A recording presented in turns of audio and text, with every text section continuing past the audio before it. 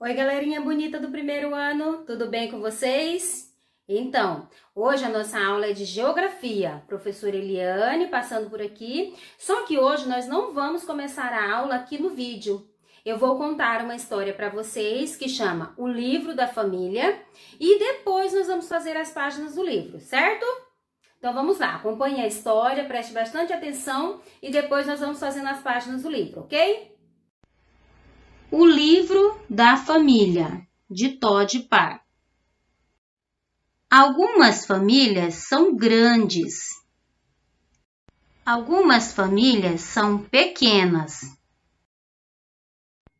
Em algumas famílias, todos são da mesma cor. Em algumas famílias, todos são de cores diferentes. Nas famílias, Todos gostam de abraçar uns aos outros. Em algumas famílias, uns moram perto dos outros. Em algumas famílias, uns moram longe dos outros. Algumas famílias se parecem. Algumas famílias parecem seus animaizinhos de estimação. Todas as famílias ficam tristes quando perdem alguém que amam. Algumas famílias têm madrasta ou padrasto e irmão portiço ou irmã postiça. Algumas famílias adotam filhos. Algumas famílias têm duas mães ou dois pais. Nas famílias, todos gostam de celebrar dias especiais juntos. Em algumas famílias, todos gostam de comer as mesmas coisas. Em algumas famílias, todos comem coisas diferentes. Algumas famílias gostam de ficar em silêncio. Algumas famílias gostam de fazer barulho. Algumas famílias gostam de se lavar. Algumas famílias gostam de se sujar. Algumas famílias moram em sua própria casa. Algumas famílias dividem a casa com outras famílias. Nas famílias, todos podem ajudar uns aos outros a serem fortes. Há muitas maneiras diferentes de ser uma família. Sua família é especial, independentemente do tipo que ela é. Com amor, Todd. E aí, gostou da história? Legal, né? Lá na história mostra vários tipos de famílias, né? Famílias que são grandes, famílias que são pequenas, famílias que se parecem, outras que não se parecem, da mesma cor, de cores diferentes, não é verdade? E assim são as nossas famílias, né? A minha, a sua, que são famílias diferentes. Então, por que, que eu contei essa história para vocês? Porque agora nós vamos iniciar um novo capítulo do nosso livro de geografia.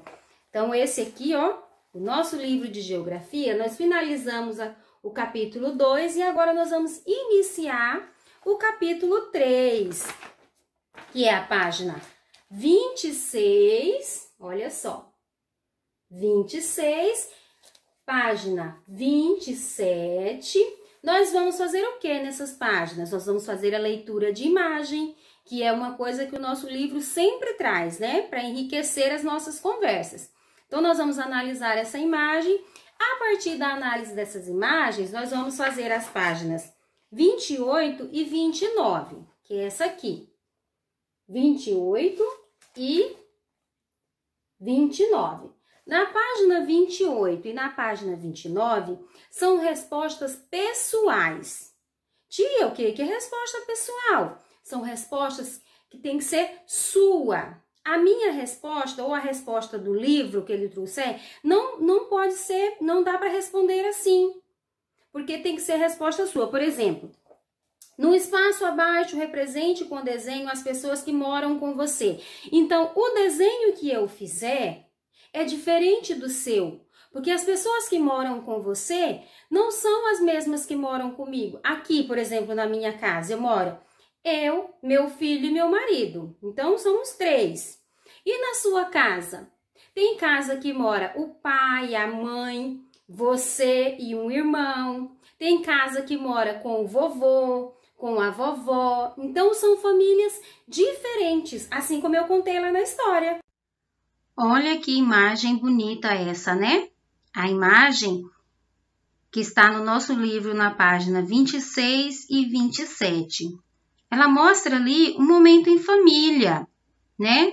Onde tem um pai e uma mãe, as crianças que estão sentadas ali, né? Em volta do avô, que está mostrando um álbum de família para eles, as fotografias de família, né?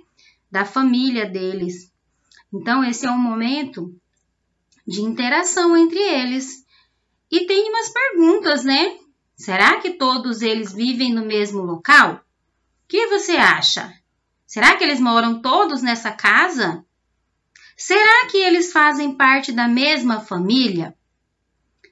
Vamos observar o, o rosto deles, né? Ver se eles se parecem. Porque as famílias se parecem, né? Isso mesmo, as pessoas se parecem quando são da mesma família. Como é o jeito de viver dessas pessoas? Será que eles vivem em harmonia? Eles gostam de brincar em família? Eu acho que sim. O que, que você acha? Então, nós observamos aqui nessa imagem que é um tipo de família, né? Onde tem o pai e a mãe, os filhos e o avô, que provavelmente mora com eles e está ali no momento de interação com as crianças. Na página 28, tem uma mensagem bem bonita para nós logo no início do capítulo, que fala, está escrito o seguinte: Família é o primeiro grupo social do qual fazemos parte. Estar em família é muito bom. Com ela vivemos momentos muito felizes e outros nem tão alegres assim. Não é verdade? É o que eu falei para vocês durante o vídeo, né? que são os momentos que a gente passa em família. Então, aqui tem duas atividades para serem feitas nessa página. Na número 1, um, está pedindo para você desenhar no espaço, no retângulo que tem abaixo, as pessoas que moram com você. Então, você vai desenhar se você, se mora você, seu pai, sua mãe, seu irmão, você, seu pai, sua mãe, sua irmã, ou com a avó, ou com o avô. Então, você vai desenhar a família que vive com você, tá? Número 2, você vai marcar um X nas pessoas que moram com você.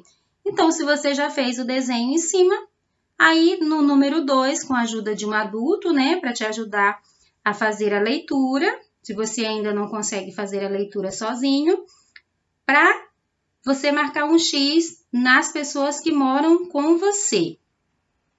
Na página 29, tem a pergunta número 3. Na sua casa, o que você deve fazer? Então, ali tem algumas atividades que você pode fazer para ajudar em casa, como arrumar a cama, limpar a casa, arrumar o quarto, lavar a louça, guardar os brinquedos, cozinhar. Então, ali você vai ver quais são as coisas que você já consegue fazer.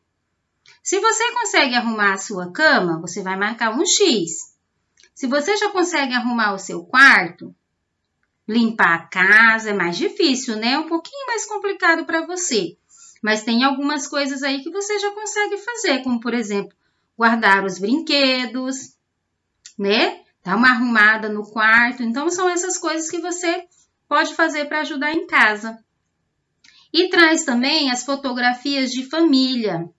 Lembra da história? Tinha vários tipos de família: família grande, pequena, com pai, mãe, filho, famílias que se pareciam, famílias que eram um pouco diferentes. Então, você vai observar essas fotos e vai ver com qual dessas fotografias a sua família se parece. Essa é só uma observação, você vai só observar e apontar. Não precisa circular nem marcar X, certo? Tarefa: junto com sua família, fazer a leitura e atividade das páginas 26, 27, 28 e 29 do livro de Geografia.